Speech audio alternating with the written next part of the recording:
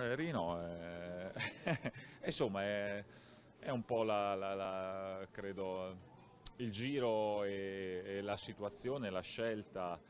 eh, che sembra quasi naturale, perché alla fine eh, Rino è da 20 anni che rappresenta eh, il Milan e, e, credo che lui sappia benissimo dove metter mano e, come, e che tasti ecco, ad operare per eh, far rendere al meglio la squadra.